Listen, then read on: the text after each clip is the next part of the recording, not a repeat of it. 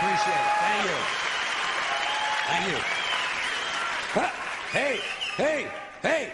Time for a few fart jokes. Where would a comedy show be without a few fart jokes? Question.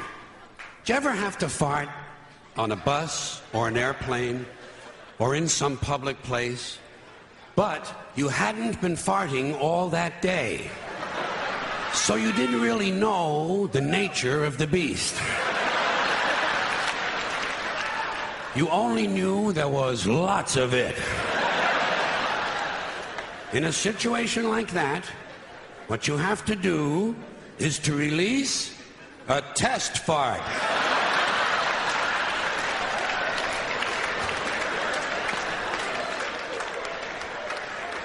You have to arrange to release quietly and in a carefully controlled manner about 10 to 15 percent of the total fart in order to determine if those around you can handle it.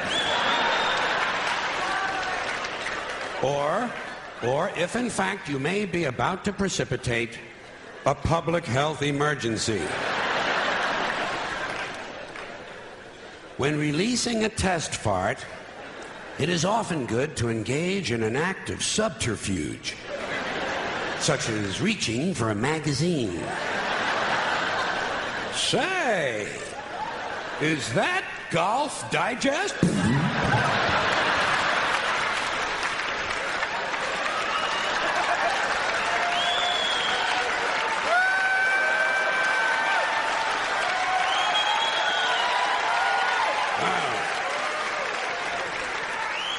That doesn't smell too horrifying. In fact, in an odd way, it's rather pleasant. I think they ought to enjoy the rest of this baby. And it turns out to be one of those farts that would strip the varnish off a footlocker. A fart that could end a marriage. And everyone around you heads for the exits. Even the people on the airplane. As you realize, it is time to review your fiber intake. It might not be necessary, after all, each morning to eat an entire wicker swing set. I have no ending for this, so I take a small bow. Thank you. I appreciate that.